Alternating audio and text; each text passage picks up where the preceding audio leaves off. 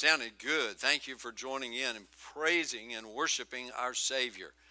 What a, what a privilege, what an opportunity we have each, each day and certainly on Sunday to, to worship and praise our Lord. Amen.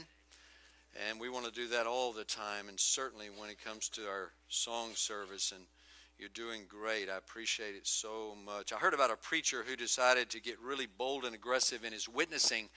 He uh, just felt like he'd been slack on it, and so he was just determined to uh, to be aggressive, and he decided to attack the devil on his own turf. So it was an evening, and he just decided he was waiting no longer, and he went to a bar. And he walked in there, and the first man he saw, he just went up to him and said, You want to go to heaven? And the guy said, Yeah. He said, Well, then you get up and you go over to that wall and you stand over at that wall right over there. Pastor was surprised. The guy got up, went over, and stood at the wall.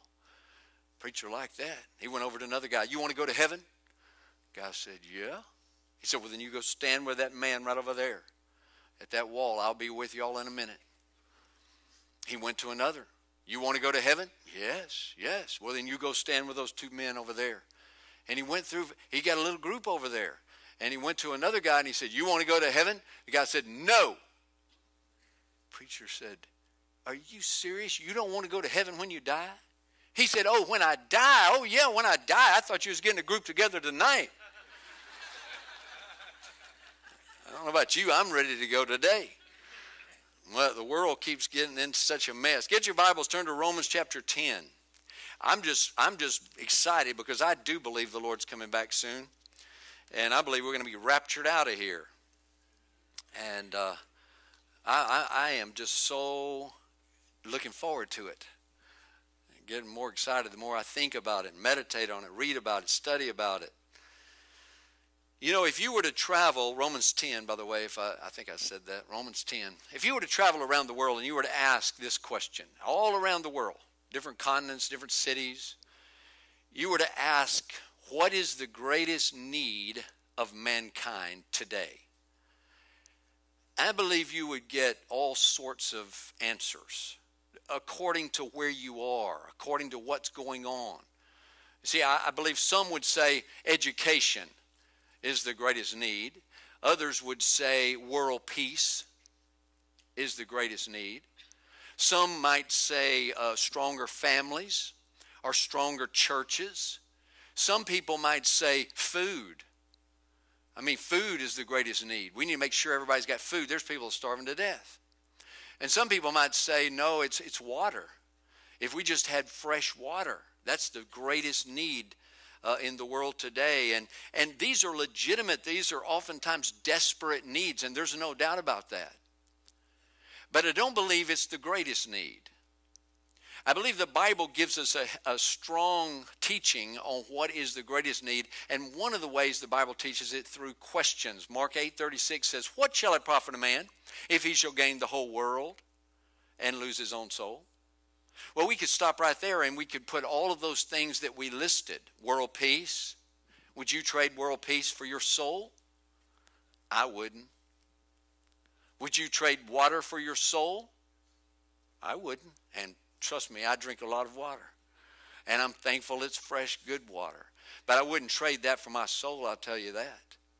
I wouldn't trade food. I wouldn't trade strong families. I wouldn't trade strong churches or anything else. What shall it profit a man if he shall gain the whole world, everything, and lose his own soul?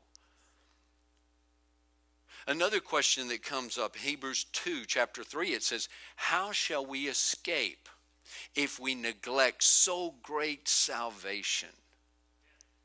There's the key. There's the most important need in the world today is this great salvation. It is certainly the greatest need, and that's what I want to preach on this morning this great salvation. And you have an outline on the back of your bulletin. Follow along, fill in the blanks. But right now, let's stand as I begin reading Romans 10 and uh, Romans 10, and I'll begin reading with verse 1. Uh, David, we got one string of lights here we need to turn on. Romans 10, 1. Brethren, my heart's desire and prayer to God for Israel is that they might be saved. For I bear them record that they have a zeal of God, but not according to knowledge.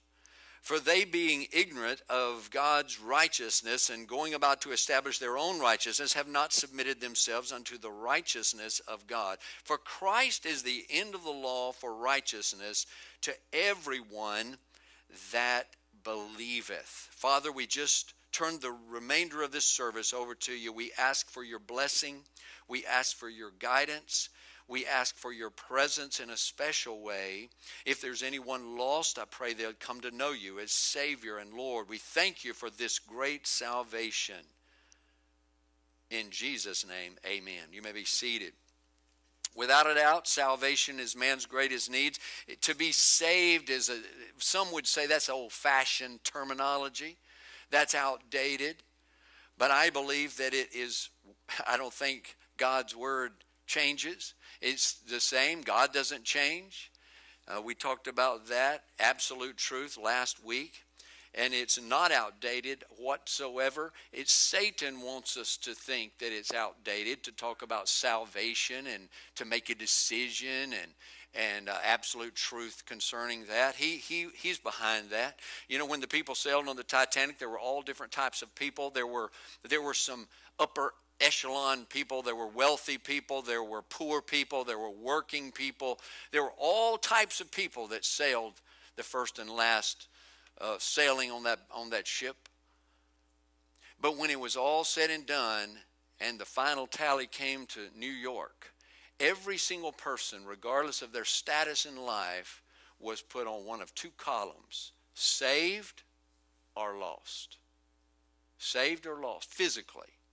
They were either saved or they were lost. Spiritually, every person in the world today is in one of those two columns saved or lost. And every person in this room this morning, you're either saved or you're lost. And, and you know, it's not going to be enough that people think I'm saved. One day I'm going to stand before God and it'll all be uncovered. And it's not going to matter. I'm going to be very, very frank with you this morning. It's not going to matter at all about my life what you think. It's going to matter what He says and what He knows. And so we need to make sure, and I guess that my desire this morning is that we all examine our heart, make sure without a shadow of a doubt we do not, do not, do not leave this place until we know for sure we're saved. That's the most important need. It's the most important decision we'll ever make is that we're saved. So I want to share three things with you this morning. Number one, this great salvation is free. This great salvation is free. Cost you nothing. Cost the Lord, but it cost you nothing. It's free. Now, the majority of the people in the world today think that salvation is rooted in the merits of man. I hope you got that because this is a fact. The majority of the world, majority of the world believes that salvation comes according to your works, according to what you do. That, that there's certain things you just have to do.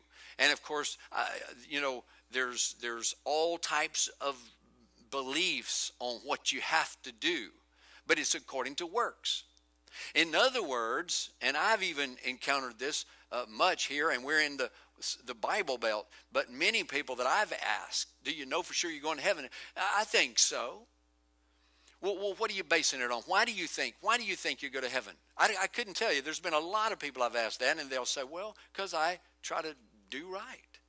Works because I try to treat people right. I've had them say that. Works. See, what people are thinking is that if I do more good than I do bad, which I try to do, I'll probably go to heaven. That's the great deception And I'll talk about that a little bit more in, in, just a little bit. That's the lie from Satan. See, people think that salvation is a reward for the righteous. It's not. Salvation's not a reward for the righteous, it is a gift for the guilty. And that's us. We're guilty. We're lost. We're separated from a holy God. There's people who are going to go to hell. Why? Because they're drunkards? No. Because they're drug addicts? Because they're prostitutes? Because they, they're, they're thieves, liars, murderers, rapists? No. The reason they'll go to hell is because they've never been saved. You see, the Lord died for all of those people, and you and me. And it's a gift, and He wants to give it to everyone. And it's free. It's free to us. If somebody came in here and they said, Hey, Pastor, I, am going to I'm gonna do something for your church. I said, Well, good, good. He said, I'm going to pay for everybody to go on a cruise, and you can all go together as a church. And I just want to do that gift. So if, if you want to go, it's going to be free to you. And all expenses. I said, I don't have to pay anything? Nothing. Just whoever wants to go. Now, how much is that going to cost you? Nothing. It's free. That ain't going to happen, by the way. Y'all settle down. I see people just getting all excited about the food on the on the cruise. But it would be free to you. That's what that's what the Lord has offered us, except it's eternal life. It's forgiveness of sin. It's free. It's free. But yet so many will not accept it. How sad it is when they won't believe, they won't receive. Hebrew, Hebrews 11 verse 6 without faith it's impossible to please him for he that cometh to god must believe that he is and that he's a rewarder of them that diligently seek him. The apostle paul was a religious guy. He, he was saul of course before he became the apostle paul. He was saul of tarsus. And, and that's where so many people are today. They're just religious you know a lot of people in the world today would put you and me to shame as far as religious religiosity. I mean, they just boy, they're they're much more fervent and faithful than we are, yet they believe a lie. They're counting on their own righteousness. It's exactly what Paul is talking about in the scripture. And and and Saul, Paul, actually Paul said this. Matter of fact, let's read it. If you would put a bookmark in Romans 10, and I want I want you to turn there because I want you to see this in Philippians 3. Philippians in the New Testament.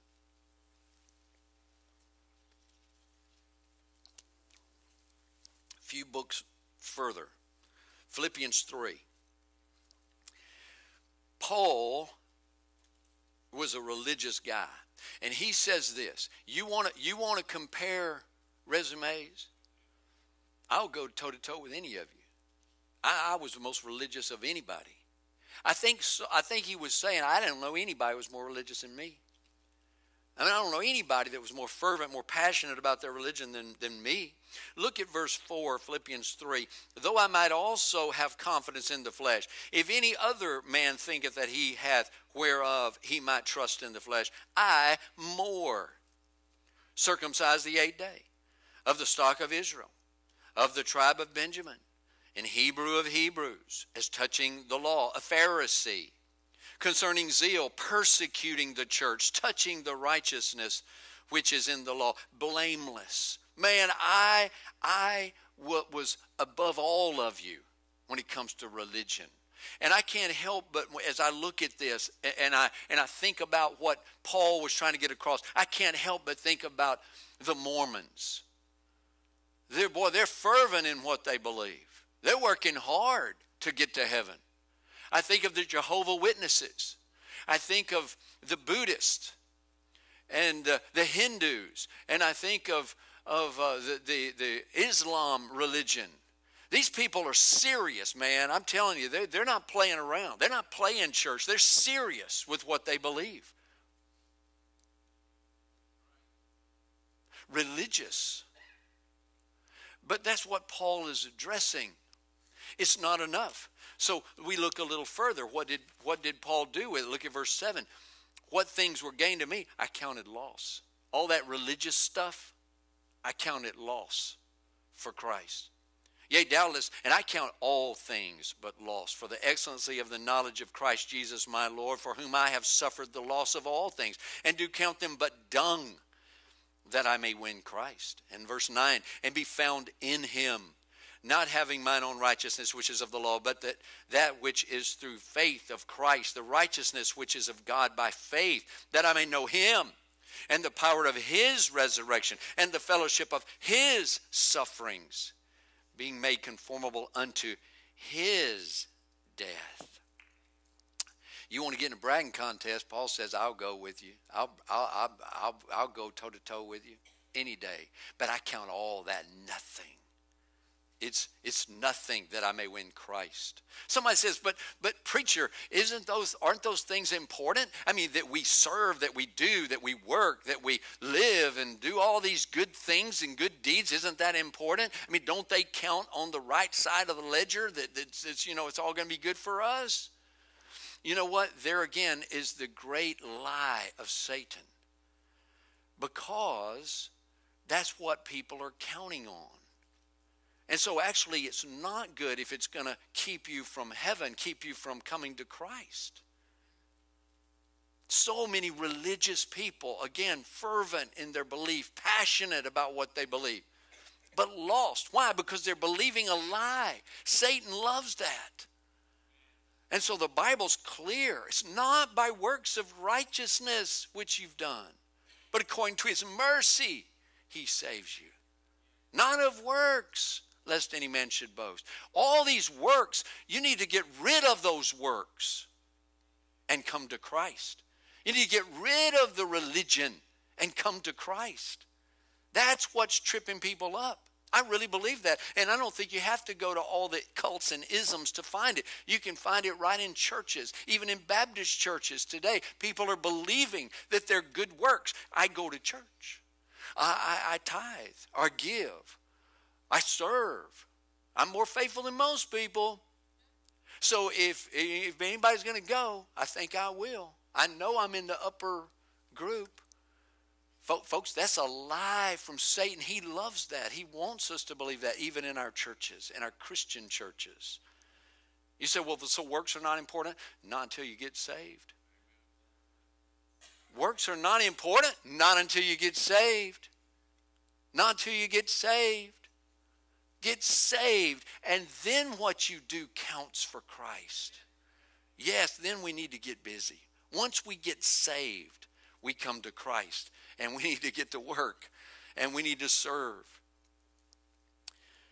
John Paton was a missionary in the South Sea Islands, and and he was working with a tribe and they didn't have a bible and he wanted to translate into their language and he, and he worked fervently at that as anybody's taken that undertaking it's very difficult um, there was a word that he had to translate correctly, and he didn't have one. He asked a number of the tribe tribal people, and they didn't. You know, all they would do it was the it was the word for trust and faith and belief, where you believe on the Lord Jesus Christ. And the only word they had really was an intellectual belief. That's all he could come up with. You know, you put two apples here and you add two more, that's four apples. That's an intellectual belief. And so this went on and on, and he had to come up with you can't give the south, you can't give the gospel without this. So finally, there was a, a, guy that had been running, one of the tribesmen that was running. He was exhausted. He came into the hut where John Paton was, and he just fell over on a chair, just I'm not going to demonstrate it. I wish I could. But he, would just, he just fell over, exhausted, and he was trusting in the chair 100%. And John Paton asked him, Now, what, what is that? What is that you just did? You just trusted that chair. You knew you put 100% into it. You knew it would hold you. And you just totally gave yourself over. What was it? And he gave him a new word he had never heard before. It was the word. What we need to understand we have to trust Jesus Christ 100%. It's not Jesus Christ plus salvation, I mean, plus baptism. It's Jesus Christ, period. It's not walking an aisle. You see, you ask people that, and you ask them about their salvation. Say, "Yeah, I walked the aisle."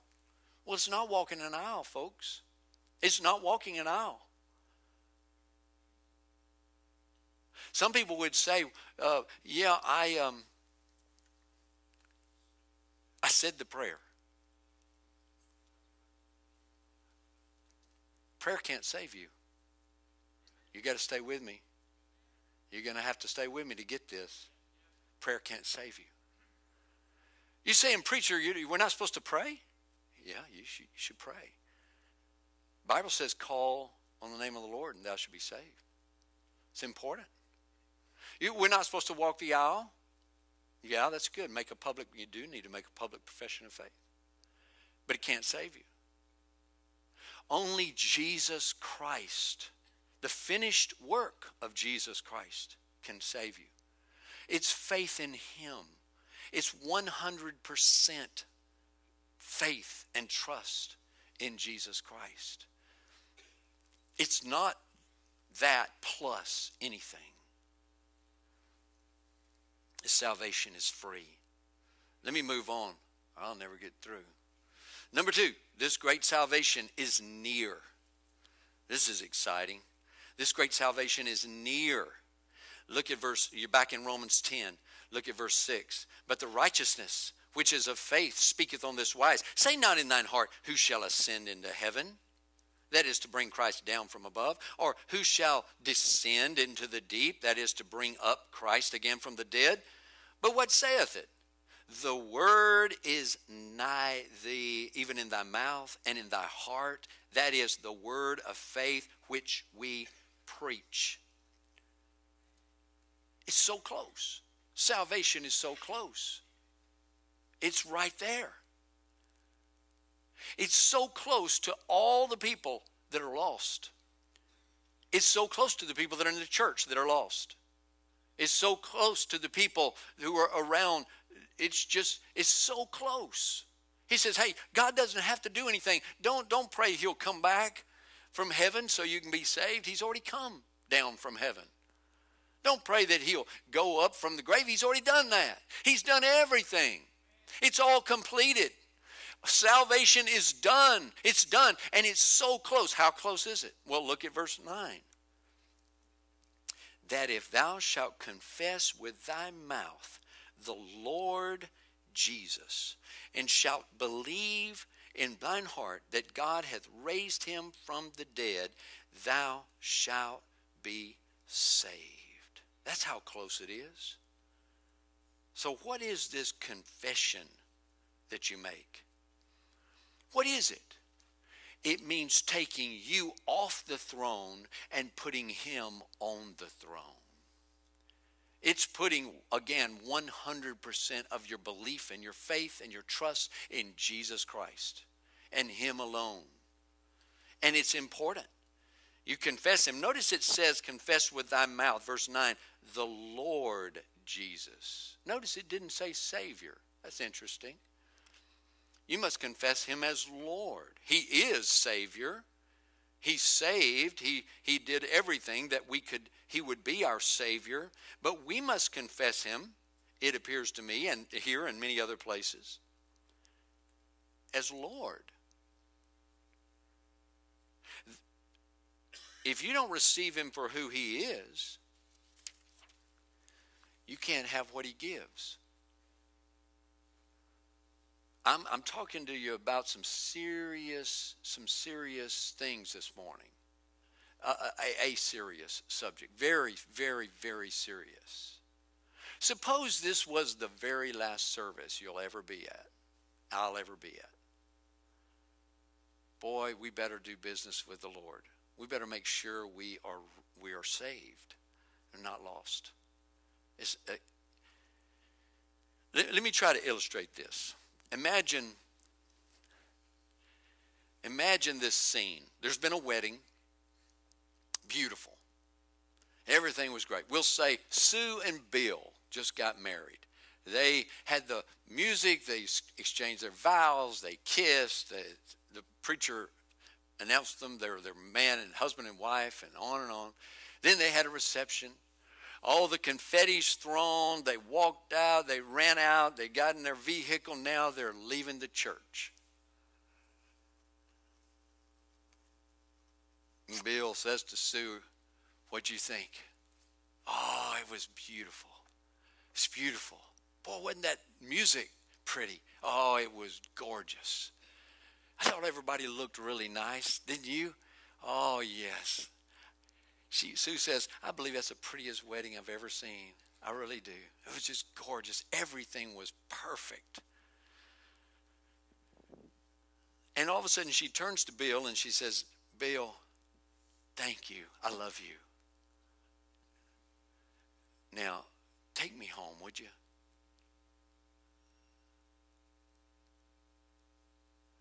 Bill says, well, well, our house is not ready yet. It, they're, they're, they're finishing up, should be ready in a few days, but we're going to go on our honeymoon now. She says, no, just just take me home. What do you, what do you mean I, we, it's not ready? No, I mean home, my home, with my mom and my dad. Take me back home. He says, what do you mean? We're, we're married. And Sue says, well, I know, I love you but take me home. Why would you go back to your mom and your dad? Because that's where I'm going to live. Sue says, Don't think anything's going to change just because we got married. I mean, I'll still see you. I love you. I loved you before we got married. I love you now, but nothing's going to change. We're going to, you come see me on the weekends. We'll date. We'll have a good time. I mean, but don't think I'm changing my life just because we got married. You promised you'd take care of me, and I'm glad you're going to take care of me. I'm, I'm excited about all that. But don't think I'm going to change anything. And you see how absurd that is, right? Did you know that's the way sometimes people are doing God? Hey, I said your prayer, but don't think I'm going to change my life.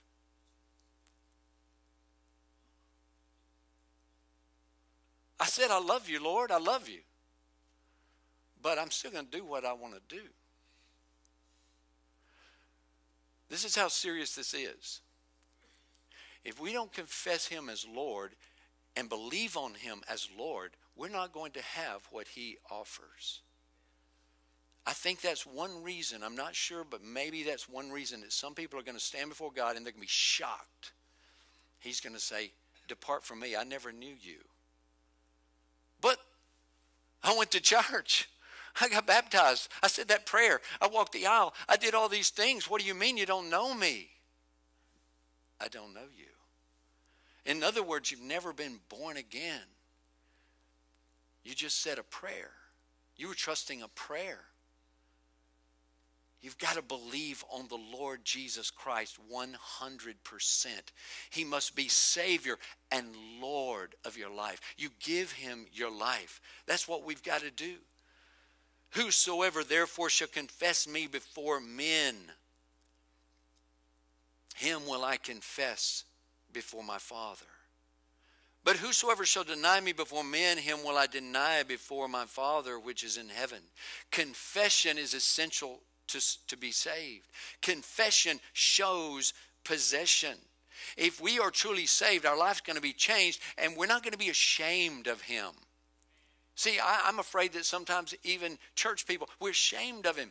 We don't even, we don't, we're, we're afraid to even let people know we're Christians, we're born again, because we don't know how somebody's going to act about it. He said, If you're ashamed of me, I'll be ashamed of you. I heard about a, a revival meeting that was going on, and there was a woman in the back who was weeping. And one of the counselors saw her. And so he went back to the back of the church and he, and he talked to her and he said, Would you like to come forward and be saved? She said, No, I don't want to come forward. Don't you want to give your life to Christ? Yeah, if I can do it back here. And the counselor said, You can't do that back here. And he went on back up front. Well, the next night, the same thing happened. Boy, it a revival meeting. The, the Spirit was moving. And, and this same counselor up at the front, and he saw this, this lady back there crying. And so he decided to go back to, and he went back again. He said, Ma'am, don't you want to come forward and believe on the Lord Christ, Jesus Christ, and be saved? She said, No, that's embarrassing. Can't I do it back here? He said, No. No, you can't do that back here. And he, the counselor went back up front. She didn't, she didn't get saved. The third night of the revival, the same thing happened again. And this counselor started not to go back there, but he noticed this woman was really under conviction. She is just weeping. And so he went back and he, and he asked her again, Ma'am, do you want to go forward and put your faith and trust in Jesus Christ and get saved? She said, Yes, yes, yes, I will. I will. I will do anything if I can just have peace with God. Yes, I'll go forward. He said, Okay, then there's no need. You can get saved right here. Folks, that wasn't a trick, that's real. See, she had to come to the place. And when I first heard it, I thought, well, what do you mean she can't? She can get saved right where she is. She can get saved at home or whatever. No, but he knew she's not where she wants to truly 100% believe on the Lord Jesus Christ. She's ashamed. She's embarrassed. No, she wasn't ready to get saved. Maybe therein lies the problem. Some people who are quickly making a, saying a prayer, but they're not really ready. They're not truly ready to believe on Him as Savior and Lord. Have you come to that place? It's so close. It's so close. People are so near. Let me give you one more and we're done. Number three, this great salvation is rich. Look at verse 12. There's no difference between the Jew and the Greek. I'm so thankful for that. For the same Lord over all is rich unto all that call upon him. I'm so thankful for that. For whosoever, verse 13, shall call upon the name of the Lord shall be saved. I'm so thankful for that. And I don't believe anyone is predestined to hell. I do not believe anyone is predestined to hell. There's a teaching going around the world today that, that the hyper Calvinists believe that God picks certain people that can be saved and others he picks that they will be lost. I do not believe that. That's not what the Bible teaches. He said he's not willing that any should perish, but that all should come to repentance. You know, we talk about these people that committed murder or rape or anything. Listen, Jesus died for them. He loves them those who are committing the most egregious sins that you can imagine, some things you can't imagine. But God loves them and He wants them to be saved, just like He wants everyone to be. There's nobody in this building. You say, Well, preacher, you don't know what I've done. Nobody knows what I've done. There's no one in this building who's bad enough that you can't be saved. There's no one in this building who's so good you don't need to be saved.